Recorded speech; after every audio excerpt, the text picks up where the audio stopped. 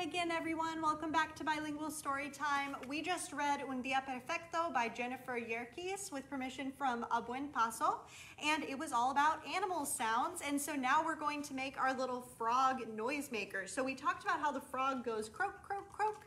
And so we're gonna make this fun noisemaker that goes. It's kind of loud when you pull it fast. It makes like different noises depending on which way you pull it and how fast you do it. So if y'all do this, it's pretty fun to play with. So all we need for this craft is a paper cup, uh, some green paper or white paper and a green marker, uh, some ribbon, some glue, some scissors, googly eyes, and paper clips. Entonces, otra vez los materiales que van a necesitar es un vasito de papel, papel verde, unos paper, un paper clip, ojos locos y cinta. And black pens or markers. I forgot to mention those. Yes. Because we are going to draw a little frog to put on the front of our cup. So that is the first thing that we're going to do. So Miss Isela and I each have some green cardstock. And we're just going to draw little frogs.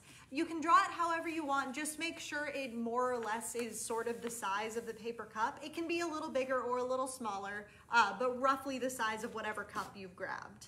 El primer paso es que vamos a dibujar una ranita que sea casi el mismo tamaño del vaso. Y lo pueden dibujar como ustedes gusten.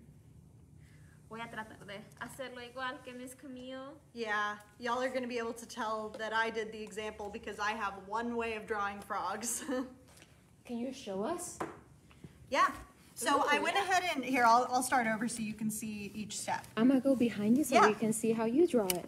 Okay, so this is how I've just always drawn frogs. I've always liked to doodle them. I start with kind of a big arch, like an upside down U shape or a lowercase n, and then I connect the bottoms with kind of a, a shorter little arch underneath. And then I do the eyes. We're gonna put Google eyes on, so I, I only have to do kind of the outlines and I want them to be bigger than my googly eyes. So I'm gonna do two, almost like Mickey Mouse ears on the top of my frog. Just as a little decoration, I like to do some dots, like freckles.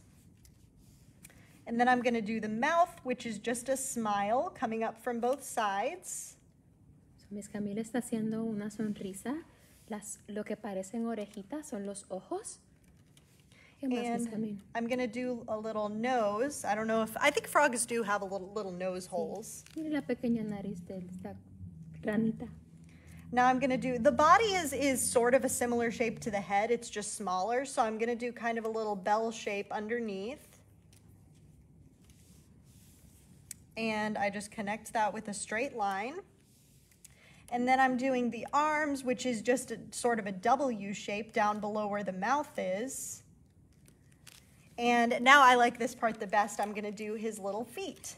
And so those are just sort of little M shapes with the bottoms all connected. So there's his front feet. And his back feet are the same thing, just longer.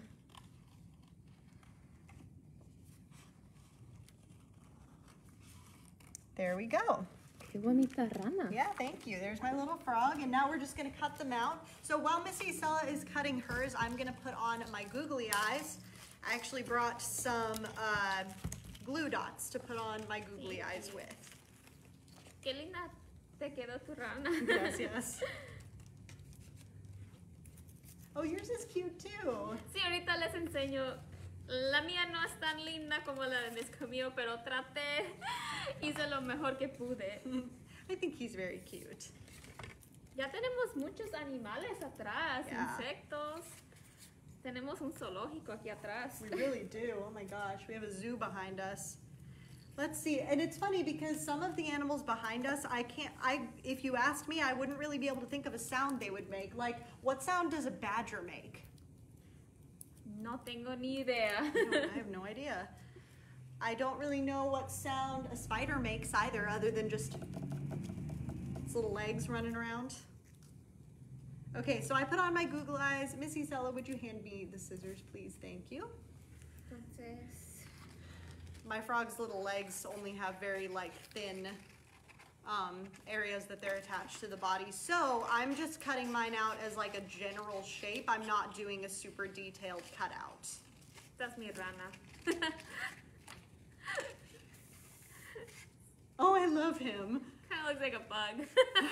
I have a pug if you don't remember our video from last year. I thought you said it looked like a bug. It kind of does too. All right, so Miss Isela, I'm gonna give you two paper clips because now we're gonna kind of assemble our uh, noisemaker. So we are gonna glue the frog to the front of the cup. So I'm just gonna grab some glue. Since the cup is round and the paper's kind of flat, I'm just gonna do one sort of line of glue down the middle of the back of my frog and stick it on. Entonces nomás estamos pegando la rana a frente del vaso.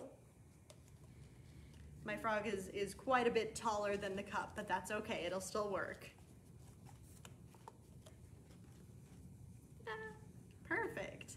So now I'm gonna take one of my paper clips and I'm gonna unbend it just a little bit, just so I have kind of a little point to poke a hole in the, in this part of my cup. So we've turned our cup over uh, upside down and we're gonna poke a hole in the bottom, which is now facing up. Entonces nomás le hacemos un hoyito en medio y con el clip. Yeah, it's a little hard to poke through, but it works.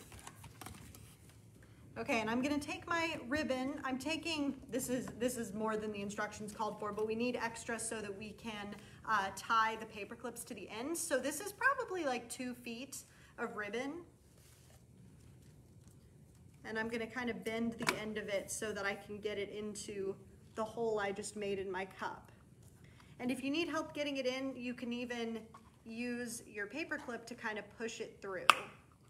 Entonces tomamos There la we go. cinta y vamos a querer meterlo en el hoyito que hicimos en el vaso. Es un poquito difícil, pero Yeah, you might need an adult to help you with this just because it's a, it can be a little bit tricky. there. Cause you want your uh, your Ah. ribbon to be sort of tight in the hole so that it makes the noise. Es que me, me puedes ayudar con el mío. yes. Here, Miss Marie, if you want to come over so I can show what I was doing. I kind of folded the end of the ribbon. You could also just cut it at an angle so you have a sharp point. And I'm gonna take that end, kind of put it over the hole. Oh no! Here, I'll let me see the scissors. Let's try it this way. Lo mismo me sucedió a mí. Yeah, because the, the paper clip just went right through the ribbon. I'm using the paper clip to kind of poke the ribbon through the hole. It worked better that time. There we go. Perfect, so it's through and now you just have to reach it and pull it, which is also a little bit tricky if you have big hands like me that you have a hard time getting through the cup. I've almost got it. There we go. Oh, yay, thank you. Mhm. Perfect. Okay, so now that we've got the ribbon in uh, each side of our cup, I'm gonna put the lid on my glue stick, first of all, so it doesn't dry out. Bend your paper clip back to how it was before and tie a paper clip to each side of the ribbon. This is just to keep the ribbon um, through where it is without it falling out. Entonces nomás vamos a amarrar la cinta con un paper clip en aquí y el segundo acá. This is also just to give you kind of a little handle to pull on when you're doing your little noisemaker.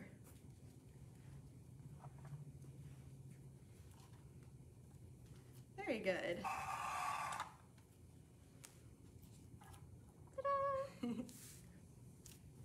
I've almost got mine tied and then we can have our frogs croak together. Oh no, I'm having trouble tying a knot. My nails are longer than usual, so. There we go. Okay. Let's hear our frogs.